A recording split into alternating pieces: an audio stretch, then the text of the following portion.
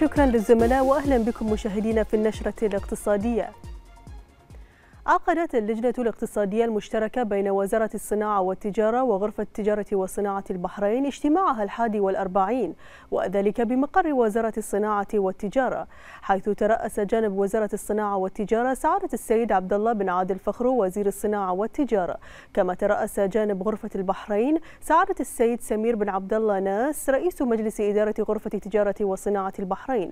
وخلال الاجتماع أشار سعادة الوزير إلى الدور الكبير الذي تقوم به غرفة البحرين مشددا سعادته بأن اجتماع اللجنة الاقتصادية المشتركة بين الجهتين تأتي في سياق النهج الذي دأبت عليه الوزارة في التعاون والتنسيق والتشاور مع الغرفة في كافة القضايا المشتركة.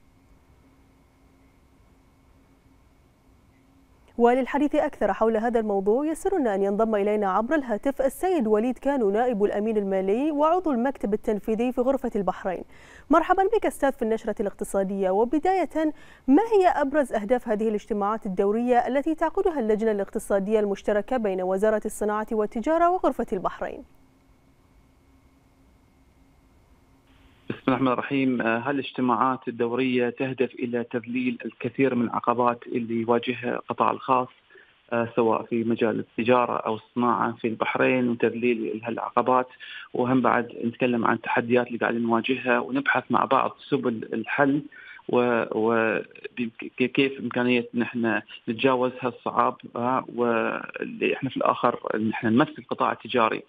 نعمل كغرفة تجارة عن طريق عشر لجان قطاعية كل لجنة لها همومها ولها تحدياتها وإحنا بين ننسق الأمور ما بينهم وإحنا نحاول إن إحنا نسعى إلى التعاون مع كل الجهات الحكومية إحنا إيجاد الحلول لهذه العقبات.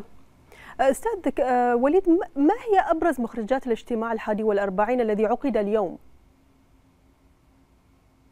اليوم إحنا تكلمنا عن بعض المواضيع الهامة جدا ويمكن كان أبرزها نعم. هي زياره رسميه الجاري استعداد لها لجمهورية الصين الشعبية في هذا الشهر اكتوبر برئاسة سعادة وزير الصناعة والتجارة ويكون مشاركة من القطاع الخاص، إحنا الحين حريصين إحنا ما بين القطاعين اللي هو القطاع الخاص وكذلك وزارة الصناعة والتجارة إن إحنا نعم. نتعاون مع بعض في فتح أسواق وأفاق جديدة للتجار البحرينيين والجهات الأخرى، كان في زيارة سابقة لها لجمهورية الهند وفي كذلك جمهورية كوريا وصارت زيارة بعد إلى المملكه لليابان فاليوم قاعد أتكلم عن زيارة هامة جدا نعم. لبلد مهم بالنسبة لنا اقليميا وهو الصين الشعبية فجاري استعداد لهالأشياء فيعني ونحاول طبعا نحث القطاع الخاص انه يكون في فائده يستفيد من هالعلاقة اللي مو فقط على التمثيل الحكومي ولكن كذلك التمثيل الخاص.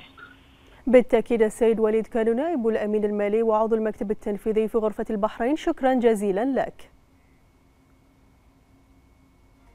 والآن نترككم مع أداء الأسواق المالية الخليجية.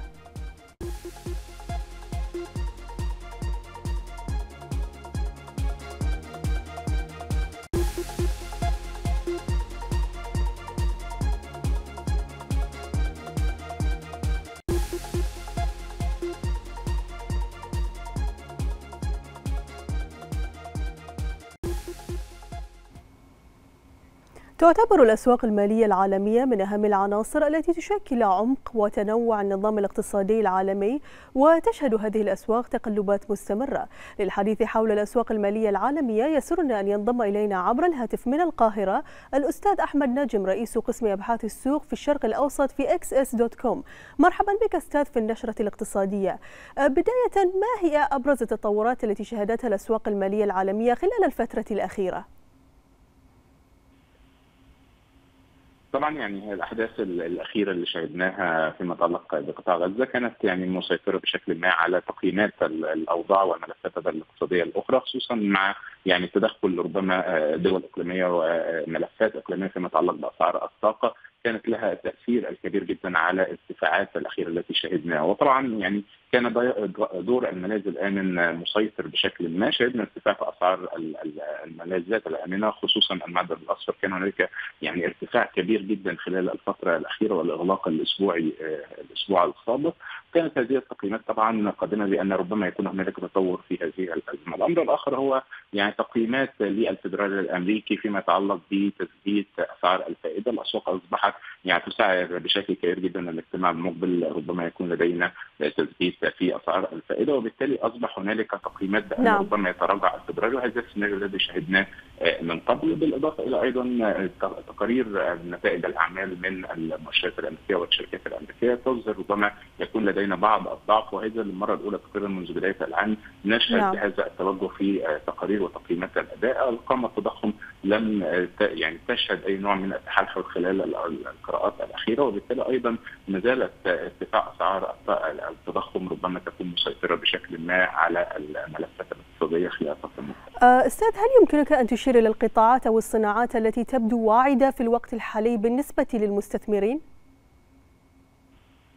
طبعا هي الأسواق الناشئة ربما تكون يعني ذات اهتمام كبير جدا في الفترة المقبلة خصوصا مع بعض التقييمات المبالغ فيها في الأسواق المتقدمة القطاعات أغلبها مبالغة بشكل كبير جدا قيمها مرتفعة وبالتالي ربما يكون التوجه إلى الأسواق الناشئة هو أفضل اختيار خلال الفترة المقبلة أيضا قطاع الطاقة هو ربما سيكون مستفيد بشكل كبير جدا من الأحداث الأخيرة وبالتالي أيضا ربما نشهد عليه بعض الدخل خلال التداولات المقبلة نعم. بالإضافة أيضا إلى يعني التوجه إلى زيادة النسبة المئوية فيما يتعلق بالملاذ الامن أو الادخار والتحوط خلال الفترة المقبلة ربما أيضا سيكون بالنسبة للمعدن الأصفر ربما يكون لدينا زيادة في نسب التحوط في المحافظ الاستثمارية وبالتالي أيضا ربما يكون قطاع واعد بالإضافة إلى أيضا قطاع البنوك وبالأخص في الأسواق الناشئة ربما يكون أفضل بكثير جدا الأسواق التي لا تعاني مشاكل في التضخم ربما تكون قطاع قطاع البنوك نعم. فيها يعني بأفضل حال من الأسواق المتقدمة خصوصا أن لدينا بعض المشاكل التقنية